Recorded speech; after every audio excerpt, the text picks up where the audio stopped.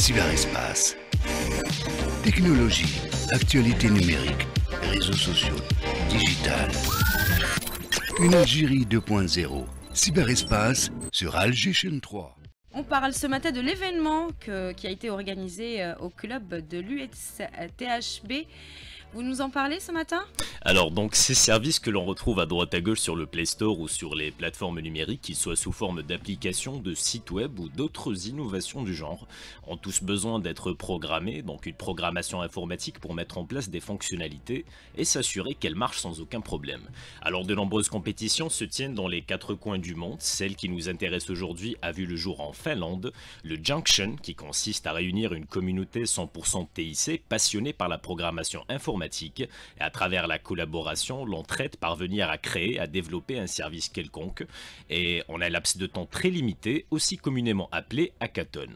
Alors dans le mot hackathon, il y a hack à ne pas prendre au sens de piratage mais plutôt dans le sens de l'exploration des possibilités en termes de programmation, des innovations dans ce sens qui sont encouragées en Algérie, à l'USTHB plus précisément. Lina Rahni est membre du club scientifique SELEC, elle nous fait part du déroulement de la compétition.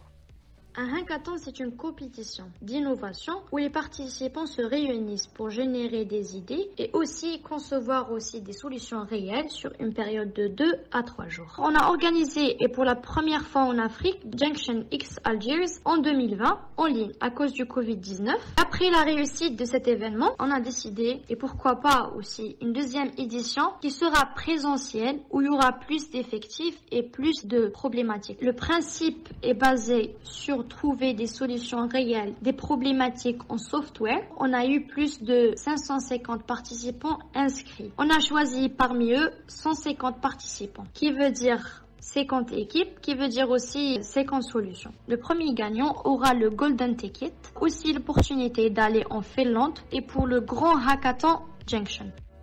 Alors un seul finaliste pourra donc représenter l'Algérie en Finlande et c'est une idée liée à la FinTech qui a remporté le hackathon.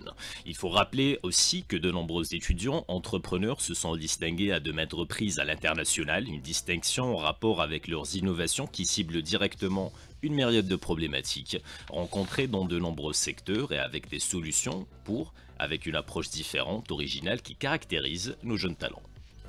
Merci Samy. Hein, c'est euh, la matière grise en pleine ébullition. Euh, Bravo euh, voilà, à, nos, à, ces chercheurs voilà, qui, qui sont là pour trouver des solutions à toutes sortes de problèmes. Dernièrement, on a lu qu'il y avait 56 chercheurs, rien qu'à Stanford.